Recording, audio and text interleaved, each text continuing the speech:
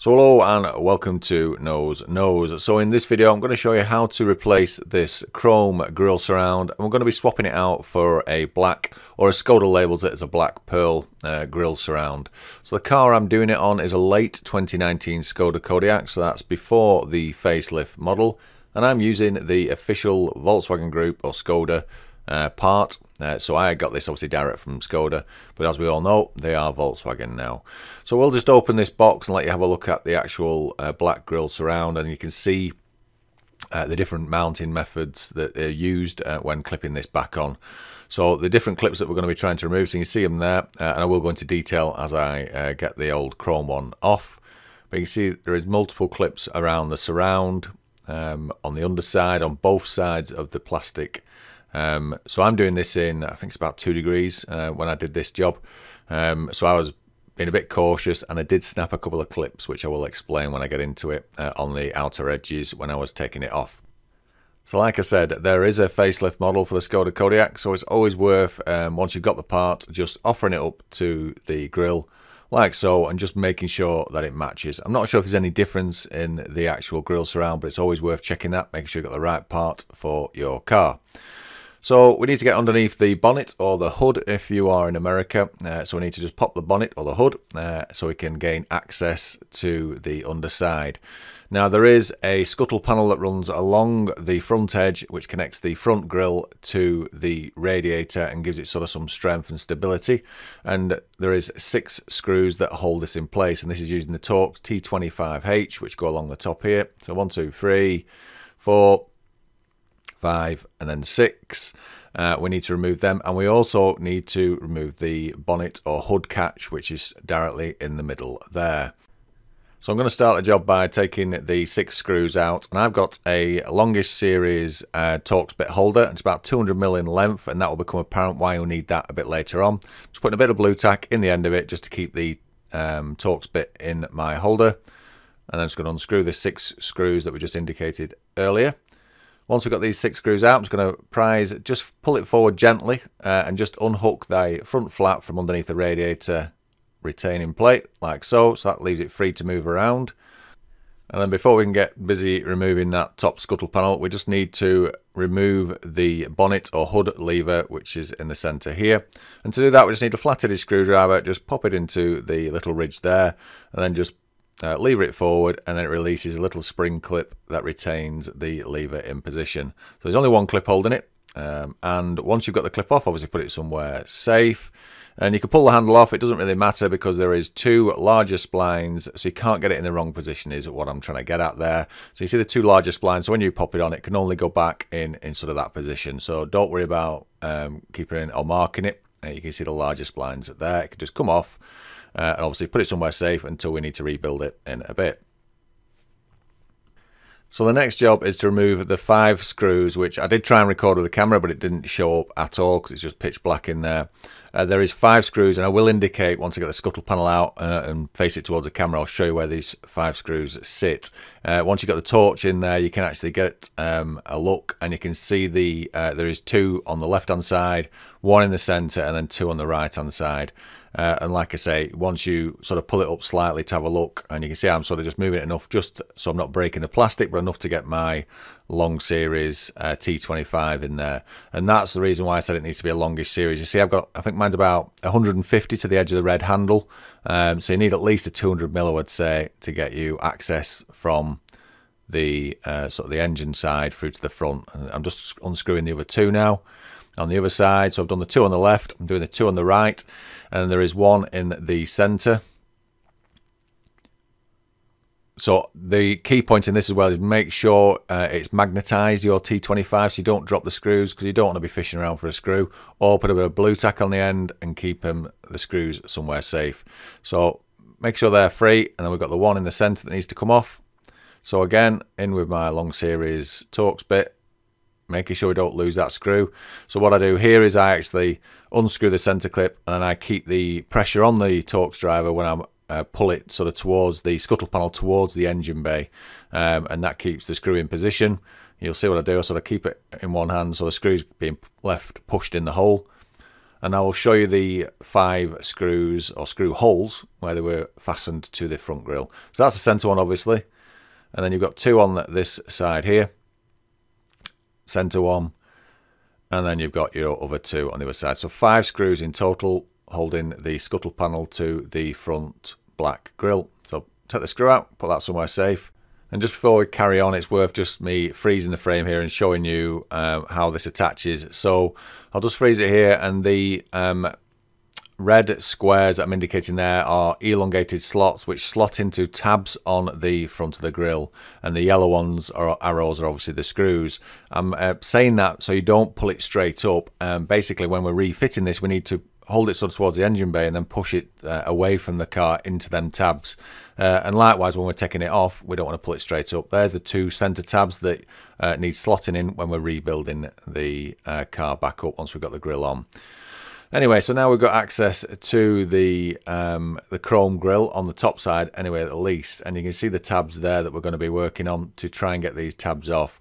So I've got several multiple different prise tools, but the green uh, boxes that I've indicated there are the tabs on the uh, inside edge of the chrome grille, and I'm just moving them with a screwdriver, and I'm also working on the top edge with a prise tool and just prising the top ones off as well. And what I found um, when I started this job, or once I started popping these off, I noticed that they were trying to spring back into position because the green ones were still attached. So I can't again show you because the camera's not on that side. Uh, but if you could see on the other side, you would see that I pushed down on them green ones to push the tabs, whereas I'm lifting the top ones up with my prise tool, you can see there. So I'm sort of lifting them and then um, making sure they're unclipped from the black. And what I ended up doing was putting some like the little, um, well, like mobile phone repair or guitar picks in under the tabs, just so it kept them lifted. Uh, so then I could work on the green ones, which I've just shown you. Uh, or I say work on it, it's just a case of just popping it in and just pushing it off. So the next two clips to tackle are the ones that are on the left and the right hand centre and they sit about uh, at the middle of the surround as I'm indicating with them red boxes there. And the trick is with them is to put your screwdriver in, again obviously can't see it because the camera would have to be on the other side, but you put your uh, screwdriver or lever on the underside of the clip and then pull it up away from the floor um, and then whilst doing that pull the surround towards you. So this one here I try and get with my fingers first um, but it won't come. So I end up obviously putting the screwdriver back in and then just lifting the clip up slightly so I can see that it's clearing the hole and then pulling the silver chrome towards myself and it just pull releases that from the uh, slot that it's in like so. So once you've got these off, uh, obviously the, the top is now loose, but now it's a case of working on the bottom. So I put my prise tool in the slot here. Now these two are the two clips that I snapped and broke. There's two that sit at 45 degrees. So there I think I've got it. Um, and then I put a red prise tool in the slot they can just see appearing just to keep that in that position so it doesn't click back in. And if I just get the camera, I'll just show you these two small slots on that 45 degree angle that you can put a tool into, in theory, pop this clip off. And obviously I didn't know what I was um, trying to push it in up against when I was doing it. Uh, so I was all just going off feel. So you can see there, it goes in and pops. So I'm not actually pushing against the bodywork here. I'm just literally pushing it in the hole and trying to push that silver clip off. And like I say, I did uh, snap these in the end anyway. Uh, now, it didn't really matter to me because I wasn't putting the chrome back on. It was just going to get replaced. But if you wanted to put it back on later date, it's worth making and spend a bit more time than I did on these two uh, clips that are on the 45 degree angles. So again, I'm doing the same here. I put a cloth on this one here because this one put up a bit more of a fight than the other one. Uh, but like I said, in the end of it, when I did pull them off, I'd snapped them anyway. So um, I think the uh, moral of the story is there, just be a bit more patient than I was with these two at the 45 degree angles uh, so you don't snap them if you do want to reuse your chrome grille. So I'd released that one on the right and then what I did then was offered the, um, the new black grille up and I just marked up where the other tabs were that I needed to work on. So I've got two in the center here, got one there, one on the left, and then the green ones are the ones that are on the underside. So again, I just marked all the green ones up. Just lifted it off there just to see where I was, put another one back on, make sure I got the marks on, and then one on the right there as well. So I've got the four green and then the two center red ones. Obviously, I've already got the two off on the far left and far right. So I'm just making sure that wedge is in so it keeps it off. And what I also had was a couple of um, steel sort of engineering six inch rulers that I found quite handy to get some of these tabs off. So you can see some of the internal tabs and the really hard ones or tricky ones to get at is these blind ones on the underside. So again, I'm just putting my prise tool in just to keep that uh, lifted and make sure it doesn't click back in. Keep losing them having to pop them back in. So these are the six inch rulers I was talking about. So these are fin rulers. Now the left hand side I've managed to free off already and it was just right hand side again causing me problems because uh, I couldn't get these tabs off initially and you can see me trying to work different things in uh, to get the to get to the areas I needed to do. Um, so yeah, I was just working away making sure that one was off because that kept seemed to clip back in. Like I said, that was the one I snapped anyway. And then there's these in the middle here that I'm just trying to release. So I've got the six inch rulers in the areas where the uh, tabs are. And all you're trying to do here is just trying to um, push the black tab lower than the actual, in this case, the the chrome um, sort of U-shaped clip. So that's all you're trying to do. As soon as you get it past that black, uh, a bit lower than it, then you can just wiggle it out and it will come out. So a bit of patience needed here. Um, I've seen some other videos where people have used credit cards and stuff, but mine was tight in. So I've got another one off here. And the last one that was putting up a fight, I ended up with a sort of borescope camera. That's what that is. Uh, just so I could see the clip on the inside. Uh, once I managed to get a view on it, I could then unclick it and it came off quite easy. But this last clip, the one that's at 45 degrees, I end up um, obviously wiggling it and playing around with it and just trying all the different prise tools in it to try and get it out. Um, and obviously, like all these things, like I say, once you actually get it off, you can see how it actually attaches. But I end up wiggling it and it snaps this one on the right as well. So again, a bit more patience and a bit more, obviously, now hopefully with this video, you can see how they actually clip in, a bit more understanding how they clip in. Because um, you can it's really hard to get from the backside as well. But like I say, you see me wiggling it. I think I've freed it here. And all that happens is I pull gently on it. I'm not really pulling hard there. I pull gently and it snaps the clip. Uh, and I end up with uh, half the clip in the black surround, which I have to get with the long nose pliers, which I'm just fishing out now. So once I've got this fished out, I will just show it to the camera, and I will show you at the end as well when I've got before I clip the uh, black surround on. Uh, but uh, I didn't want this rattling around. I'd already got the left-hand side one out, so it was a case of just being a bit careful, a bit patient, just fish this back out uh, from the slot. And once I get this out, I'll then put the camera up and I'll show you what I mean because it's obviously easier to understand if you can see what's holding it in position. And I think I probably was, wasn't being um, aggressive enough with my uh, prise tool. So what I should have done was push my prise tool a bit more or try to lift it up sort of towards the engine as it would be and it would have gone. So you can see the clip that I was working with, that's the one slot there and I'll put my six inch rule in it and show you what I mean. So that was just holding that single clip and it must have just been hooked around the back of it and that's the reason why I snapped these two, one on the left and one on the right. In theory, by pushing the ruler in like so, it should have released it. I think the other tool that I had, I could have put that in and then sort of prised it up and it would have lifted it more and then it would have slotted out. So anyway, you live and learn and hopefully this video will help you get your two out in one piece.